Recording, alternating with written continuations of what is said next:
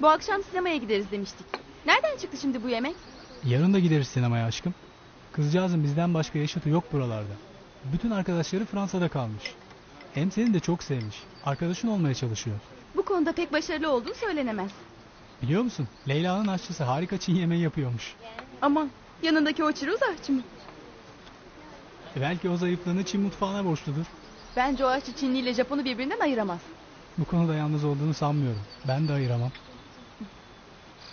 Peki gidelim. Ama dur havaya girme hemen. Bir şartım var. Söyle bakalım. Annen de bizimle gelmezse hayatta o kızın evine adım atmam. İstediğim bu olsun aşkım.